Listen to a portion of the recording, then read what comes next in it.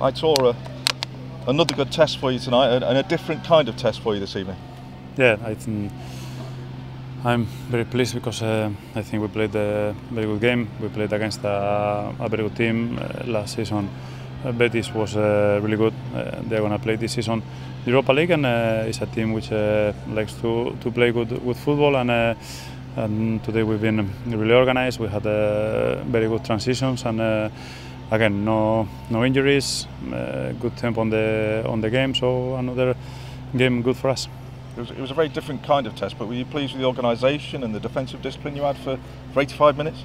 Yes, yeah, because uh, again, it's a, a test uh, which is going to be completely different that we are going to find in, in Championship, but uh, again, to to start to to be organized on the on the pitch, to to be together, to to know the things that we have to, to do when we don't have the, the ball to play playing against uh, teams like uh, like Betis is really important for, for us. And again, uh, we have players who have played 80 minutes, or the 60, 65. So I'm really pleased. It was the first time we got to see Lewis Grabban and Hilal Soudani in action as well.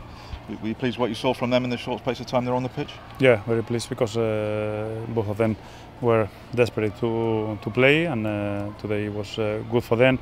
I know that the, they were a little bit uh, frustrated because uh, when they went to the game is when the game started to to be a little bit uh, crazy because they've changed the the team in the at the halftime. So, but I am really pleased with his attitude, but not just about Luis or or Hilal, or Hilal. All of them have been really well.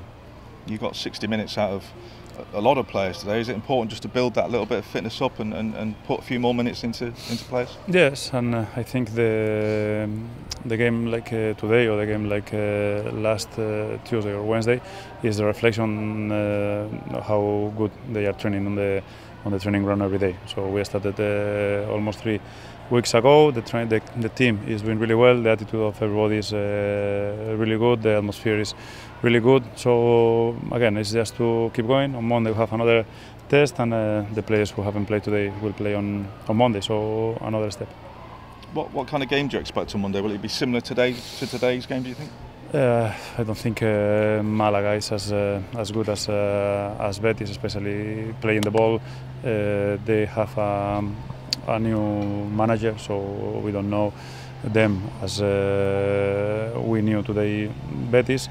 But again, they are playing um, almost at home, and they will they will want to, to win the game. So we have to think about ourselves. We need to, to think that it's another good test for us and to finish the, the week here with, a, with, the same, uh, with the same feeling.